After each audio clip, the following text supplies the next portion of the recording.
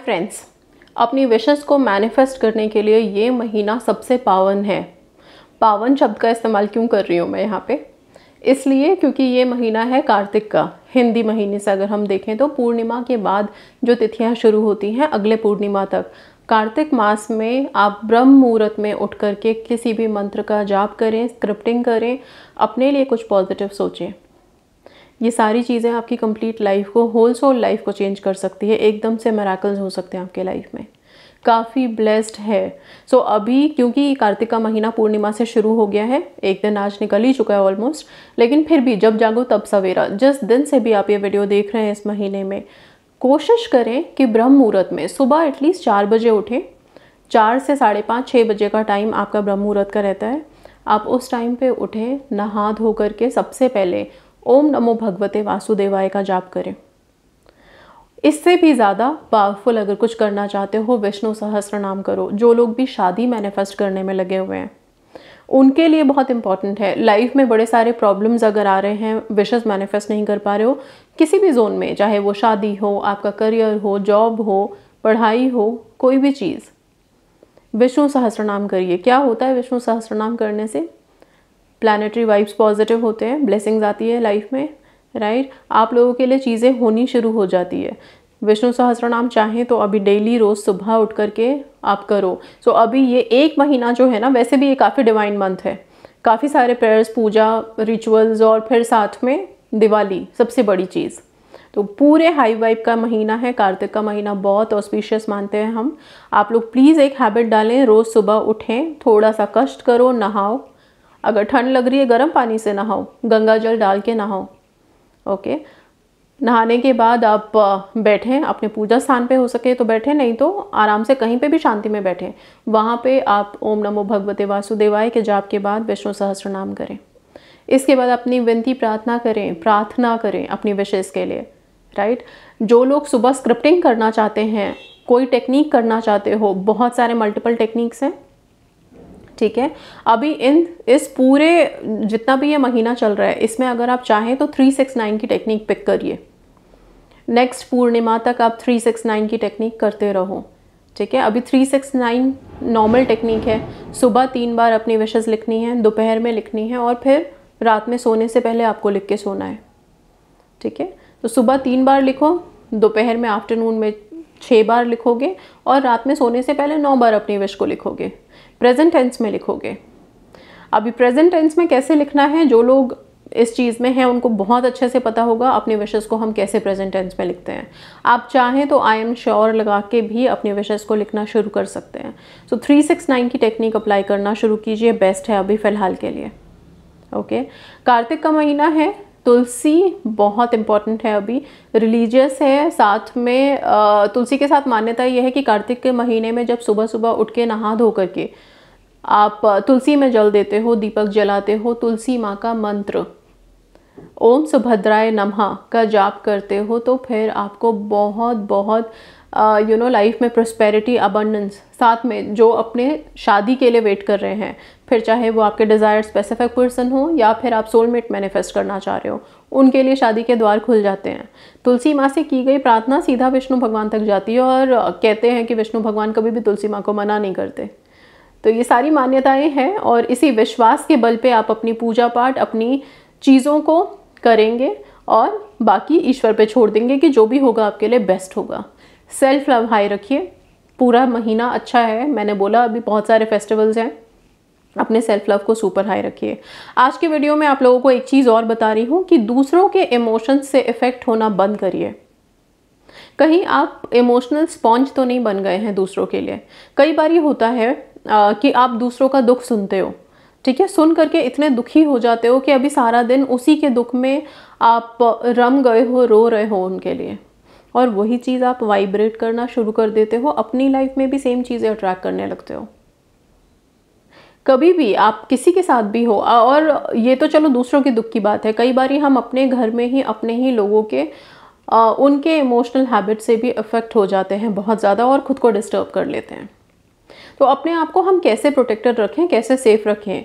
किस तरह से खुद को बचा सकते हैं, दूसरों के नेगेटिविटी को हम नहीं अट्रैक्ट करें, या फिर उनकी परेशानियों को हम अपनी ज़िंदगी में ना उतार लें? इस चीज़ से सबसे पहली बात जब भी आप ऐसे लोगों के संपर्क में आते हैं, किसी का दुखड़ा सुन रहे हैं या फिर कुछ लोग ऐसे हैं जो बड़े टॉक्सिक हैं आपकी फैमिली में और उनके इमोशंस या उनका बिहेवियर आपको अफेक्ट कर रहा है, उस टाइम पे आप सबसे पहले उस जगह से थोड़ी देर के लिए हटने की कोशिश करिए जिनके संपर्क में हैं। अगर कोई अपनी चीज़ें आपको बता रहा है और आपको सुनना ज़रूरी है, आप सुनिए। सुनने के बाद आप प्लीज़ सबसे पहले एक गिलास पानी लीजिए। पानी को अफर्म करिए अपनी पॉजिटिविटी के लिए। मैं पॉजिटिव हूँ, मैं प्रोटेक्टेड हूँ, मैं सेफ़ हूँ, ऐसा बोल के आप पिए। ताकि आपका सबकॉन्शियस कभी भी सामने वालों की किसी भी नेगेटिव फीलिंग को एब्जॉर्ब नहीं करे। ठीक है? किसी भी, कोई भी चीज़ एब्जॉर्ब कब करती है? जब वो, अगर मान लो मान लो स्पॉन्ज ही है मैंने इमोशनल स्पॉन्ज की बात करी कि आप वो तो नहीं हो। नाउ स्पॉन्ज कब अब्जॉर्ब करेगा? जब वो बिल्कुल ड्राई होगा, तभी तो उसमें एब्जॉर्प्शन की शक्ति बढ़ेगी। तो जिस टाइम पे आप खाली हो, आप अब्जॉर्ब कर लोगे। लेकिन जैसे ही आपने अपने आप को पूरा अच्छे से एक तरह से हाइड्रेट कर लिया, पानी पी लिया और उसमें अफर्मेशन डाल के कि आप पॉजिटिव हो प्योर हो स्ट्रॉन्ग हो दिस मीन्स आपने अपने आप को अब स्पॉन्ज नहीं रहने दिया। आपने अपने आप को हाइड्रेटेड कर लिया। पूरा फिल कर लिया। अब आप किसी चीज़ को एब्जॉर्ब नहीं करोगे। सबसे पहला हीलर पानी है। Okay okay. सेकेंड है, आपको अगर लग रहा है कि कुछ लोग हैं फैमिली के मेंबर्स हैं, जिनसे आप अलग हट के कहीं जा भी नहीं सकते, उसी घर में रहना है। अभी कैसे करें? उनको कैसे हैंडल करें? कैसे उनसे हम अफेक्ट ना हो? उस टाइम पे जब बहुत ज़्यादा प्रॉब्लम्स आ रही हैं आप दोनों के बीच में प्लीज़ किसी डिवाइन एनर्जी से कनेक्ट करो। जैसे ही हम किसी हायर वाइब या हायर सोल से कनेक्ट करते हैं, असल में हमें वो स्ट्रेंथ मिल जाती है और उनकी प्रोटेक्शन शील ऑटोमेटिकली हमारी तरफ़ आ जाती है, जो हमको और परेशान नहीं करती। आप फाइव टेन मिनट्स के लिए जो भी चीज़ों ने आपको बॉदर किया, उसके बाद आप जैसे ही एनर्जी से कनेक्ट करोगे मेडिटेशन या उनका मंत्र या उनका प्रेयर कुछ भी नहीं तो उनकी पिक्चर देख के सिर्फ़ आप रिक्वेस्ट करो कि वो आपको हील करें, आपके साथ रहें। आप देखोगे आपको एकदम से हीलिंग मिली है। एकदम से आप सुरक्षा कवच में अपने आप को महसूस करोगे। ठीक है? सो ये करेंगे आप। इसके अलावा और क्या कर सकते हैं? मेडिटेशन सबसे पावरफुल है, क्योंकि जब जितना आप ज़्यादा रोज़ाना मेडिटेट करोगे, कितनी भी बड़ी से बड़ी प्रॉब्लम आ जाए, आपको डिस्टर्ब नहीं कर पाएगी। आपके अंदर वो स्ट्रेंथ आ जाती है, कोई भी आपको डिस्टर्बेंस क्रिएट नहीं कर सकता आपकी लाइफ में फिर। ठीक है? अच्छा इंस्टेंटली अभी सामने मान लो कोई चिल्ला रहा है हमारे ऊपर बहुत ज़्यादा और हम नहीं चाहते कि हम उसके इस ऐसी बातों से या ऐसे नेगेटिव एटीट्यूड से हमें ज़्यादा फ़र्क पड़े। स्पेसिफिकली जो स्पेसिफिक पर्सन वाले हैं। कॉल आया और उन्होंने कुछ ऐसा बोल दिया आपको या सब कुछ अच्छा चल रहा था स्टिल एक चीज़, एक लाइन कुछ ऐसी बोल दी जिसने अभी सारे दिन आपके मन में बस वही बातें घुमा रही हो, घुमा, घूम रही हैं, घूम रही हैं कि उसने मुझे ऐसा बोला।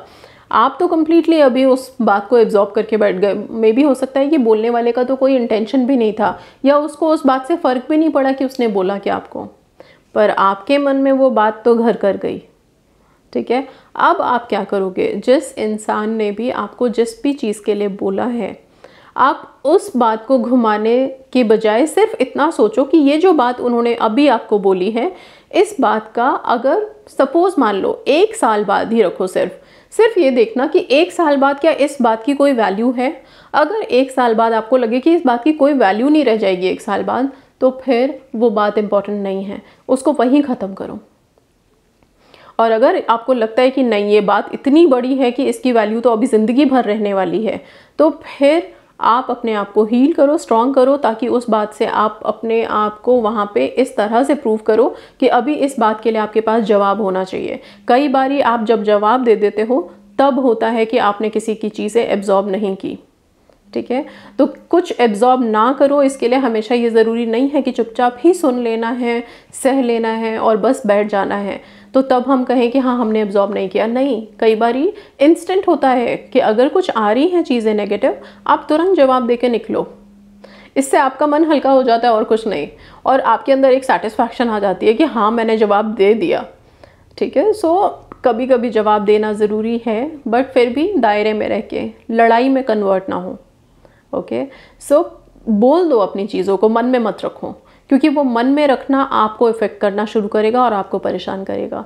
एक चीज़ और, कोशिश करें कि ज़्यादा नेगेटिविटी भरी चीज़ें या न्यूज़ या मैसेजेस आप लोग ना देखें या वीडियोस ना देखें, उससे भी हम बहुत ज़्यादा एकदम से टॉक्सिक हो जाते हैं या फिर बड़ी बार ऐसा होगा कि हम उसी तरह की चीज़ें अट्रैक्ट करनी शुरू कर देते हैं लाइफ में।